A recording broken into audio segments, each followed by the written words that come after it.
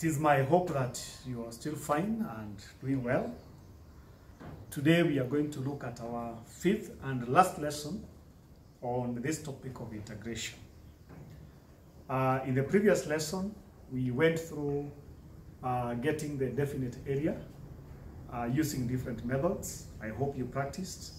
And uh, you also chose a method that is comfortable on your side.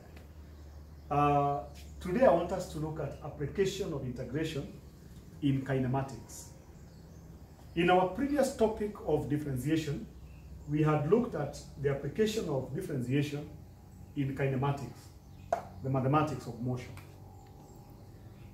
Uh, we had come across displacement, which is represented by letter S, velocity, letter V, and acceleration, letter A. All these have one variable, t, that is time. We had said in the, in previous topic that when you want to get velocity, given the uh, displacement, you differentiate. When you want to get acceleration, given velocity, you also differentiate. So for this arrow going down, we can write here differentiate.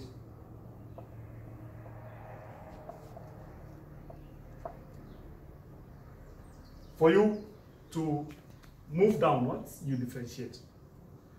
Now when you're going up, it is the reverse of differentiation. And as we have seen, the reverse of differentiation is integration. So here, we are going to integrate. When you're moving upwards, when you're given acceleration, you want velocity, you integrate.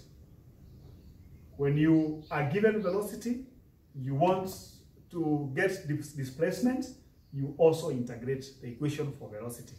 So that is how uh, we do it. Uh, when you're moving upwards, differentiate. I mean, integrate. When you're moving downwards, you differentiate.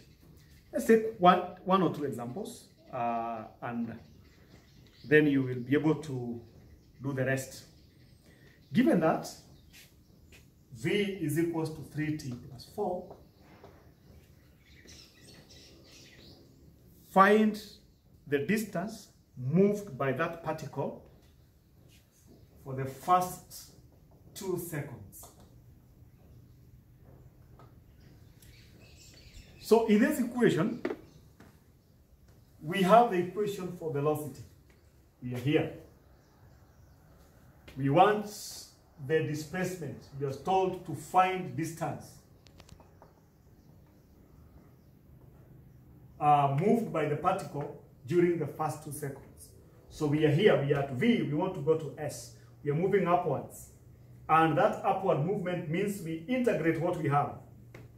And as you can see, the first two seconds, that is from zero all the way to two. The first two seconds, meaning from the zero second all the way to two. So this one is definite integration. We are integrating from zero up to two. And we are integrating the equation for velocity. And our unknown is time. So this time we are going to respect to, to, to integrate with respect to t. So integrate that, you will get um, 3 over 2t squared plus 4t. You can add a constant, not a must in this case, from 0 up to 2. So here you substitute x is equals to 2. You also substitute x is equals to 0. And you get the answer. Your answer will be 14 meters. So the distance moved by the particle for the first two seconds will be 14 meters. Uh, like that. I want us to do a second example.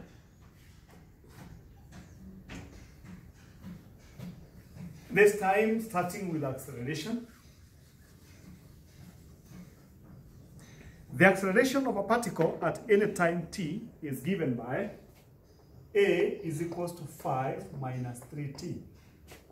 This is example 2. So the acceleration of a particle at any time t is given by 5 minus uh, 3t. If the initial velocity of the particle, initial velocity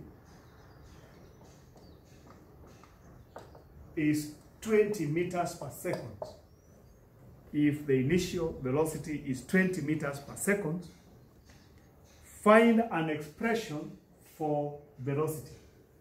Find an expression for velocity. So now we are here. We are at A. We want to get V. We are moving upwards. So it means we also integrate. But now we want an expression for velocity. So it is indefinite integration. We have not been given a time from where we are going to integrate up to which point. So here we are going to integrate 5 minus 3t, no limits, so it is indefinite. You get 5t minus 3 over 2 t squared. This is v uh, plus a constant c. You are told the initial velocity is 20 meters per second. So when t is 0, v is 20. The word initial implies that t is 0. So when t is 0, v is 20, you substitute that and you get c here to be 20. So you write the equation v is equals to 5t minus 3 over 2 t squared plus 20. So now we have an expression for velocity. That is how we work out. I'll, as you continue with that example, I would like you to find the distance. Find the distance moved by the particle during the third second. So here you have been given the limit because it is during the third second. You are at velocity. You want to get displacement. It means you are moving up, so you integrate.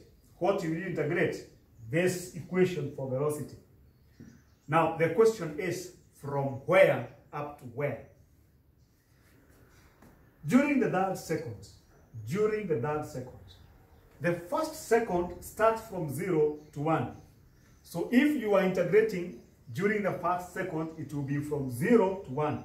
This is the first second. The second second starts from 1 to 2. From 1 to 2. This is the second one.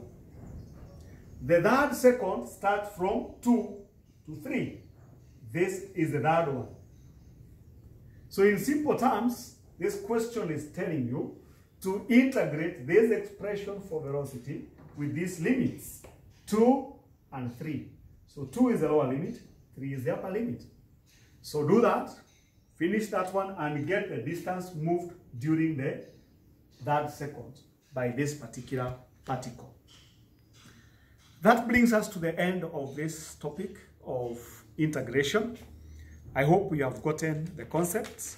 Now it is your work to go and perfect the skills you have learned in this topic uh, and apply them uh, appropriately as required by this course. Thank you very much and God bless you.